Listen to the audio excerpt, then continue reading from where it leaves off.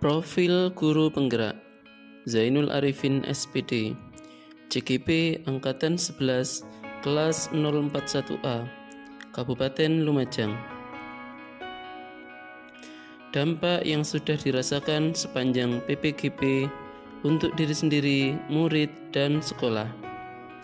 Saya menjadi termotivasi untuk melakukan perbaikan dalam mengajar di kelas memberikan pemahaman kepada murid-murid saya yang lebih efektif, efisien, dan bermakna dalam proses belajarnya.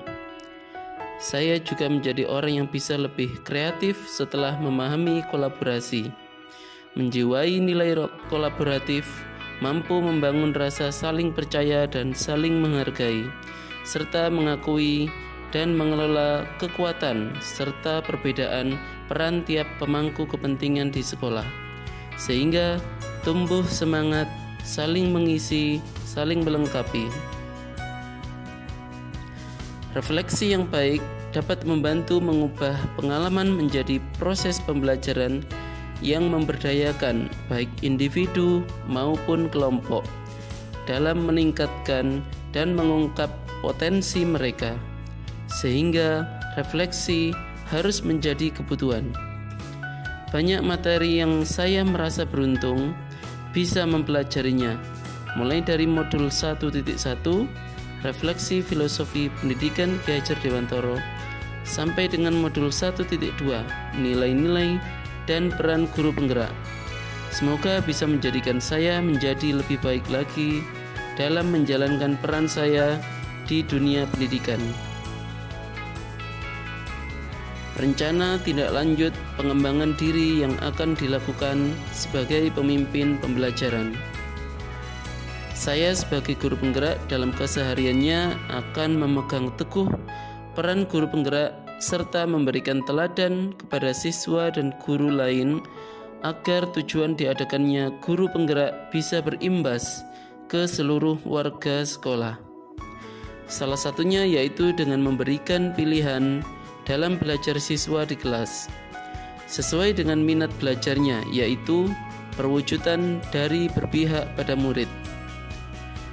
Siswa diberi keleluasaan dalam mempelajari materi proyek yang pengajar berikan untuk mempelajari, mendiskusikan, dan mempresentasikan hasil proyek mereka menurut minat mereka. Bisa dengan presentasi, audio, produk, video, atau yang lainnya dalam hal penguasaan materi yang telah didapatkan. Selain itu, saya juga akan memberikan teladan kepada siswa untuk mandiri, mewujudkan target belajarnya menggunakan cara-cara yang dia kuasai untuk memaksimalkan potensi yang ada pada diri siswa. Mendorong siswa agar menguasai teknik-teknik belajar mandiri sebagai perwujudan profil pelajar Pancasila. Saya mendorong siswa untuk melakukan kegiatan reflektif setiap akhir pembelajaran dengan memberikan contoh dan trik-trik untuk mempermudah melakukan kegiatan reflektif dengan tujuan siswa dapat memperbaiki pola belajarnya. Dalam hal pembelajaran di kelas, saya akan mendorong siswa untuk menggunakan metode kolaboratif dalam menyelesaikan proyek yang diberikan oleh pendidik. Menyarankan untuk membagi tugas sampai tuntas agar siswa mengetahui tugasnya masing-masing dan mempertanggungjawabkan tugasnya. Dengan tugas dan tanggung jawab yang dibagi sampai habis, maka memberikan dorongan kepada siswa untuk memaksimalkan peran siswa yang bertugas tersebut, mendorong siswa dan memberikan contoh atau teladan untuk mempelajari inovasi-inovasi terbaru untuk dipelajari dan diterapkan di kelas. Rencana tindak lanjut pengembangan sekolah yang akan dilakukan sebagai pemimpin pembelajaran.